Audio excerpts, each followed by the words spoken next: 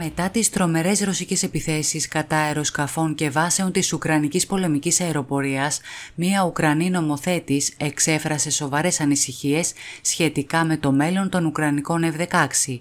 Η ίδια δήλωσε μεταξύ άλλων πως φοβάται ότι τα F-16 που θα δωρήσει ειδήσει στο Κίεβο θα έχουν το ίδιο μέλλον με τα Ουκρανικά μαχητικά Su-27 που καταστράφηκαν στη βάση του Μιργκορότ. Την 1η Ιουλίου, ο Ρωσικός στρατός πραγματοποίησε ένα πρωτοφανές πλήγμα έναντι μιας Ουκρανικής αεροπορικής βάσης στο Μιργκορότ της κεντρικής Ουκρανίας.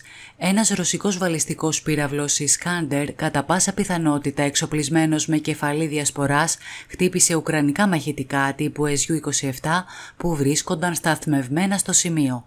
Ω αποτέλεσμα, η 1η Ιουλίου ήταν αδιαμφισβήτητα μία από τις χειρότερες μέρες της Ουκρανικής πολεμικής αεροπορίας από την έναρξη του πολέμου μέχρι και σήμερα.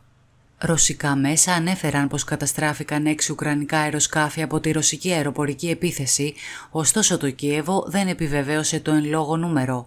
Όπως και να έχει, οι Ουκρανοί ανησυχούν πως παρόμοια ρωσικά πυραυλικά πλήγματα θα μπορούσαν να πραγματοποιηθούν έναντι Ουκρανικών βάσεων που θα φιλοξενούν σύντομα δυτικά μαχητικά F-16.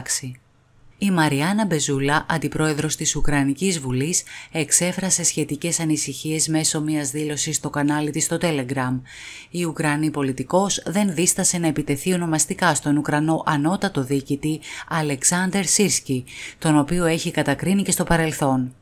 Η Μπεζούλα στο νέο της ξέσπασμα κατά της ανώτατης Ουκρανικής στρατιωτικής διοίκησης τόνισε την έλλειψη καλά προστατευμένων υπόστεγων για τα Ουκρανικά αεροσκάφη που βρίσκονται σταθμευμένα σε διαδρόμους προς απογειώσεων, αεροπορικές βάσεις και αεροδρόμια.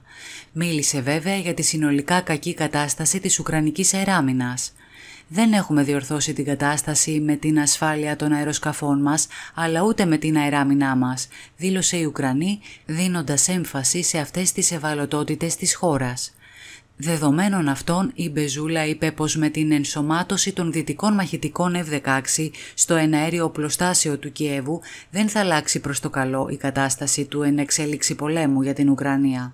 Τα F-16 μας θα γίνουν στόχοι των ρωσικών πυραυλικών επιθέσεων. Δεν έχουν γίνει οι σωστές προετοιμασίες για να φιλοξενήσουμε αυτά τα αεροσκάφη στην Ουκρανία.